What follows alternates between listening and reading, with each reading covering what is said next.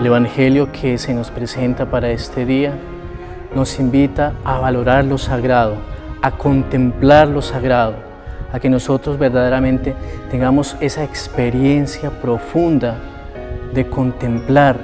de vivenciar, de degustar las cosas de Dios.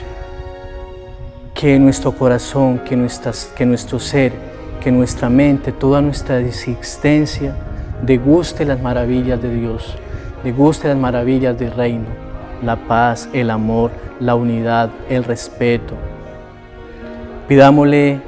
al Señor que en este día nos dé la gracia de encontrarnos profundamente con Él en la oración, en una vida sacramental,